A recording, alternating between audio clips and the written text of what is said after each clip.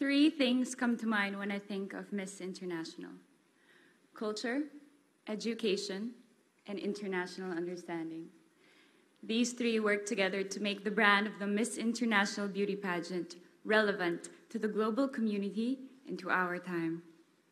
If I become Miss International 2016, I will devote myself to cultural understanding and international understanding because I believe that it is with developing in each of us sensitivity to other cultures that we expand our horizons, tolerate difference, and appreciate diversity. All this enables us to achieve international understanding, and I believe I am prepared to take on this responsibility. どうもありがとうございます。私の中